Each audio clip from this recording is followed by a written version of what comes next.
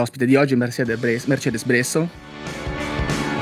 Non c'è dubbio che le politiche di austerità che eh, sono state portate avanti in questi, in questi, anni hanno avuto come conseguenza il ritorno di discorsi nazionalisti, eh, sovranisti.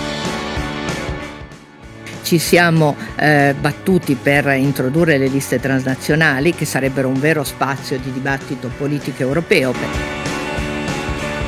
Andare avanti e, e, e fare sempre cose nuove.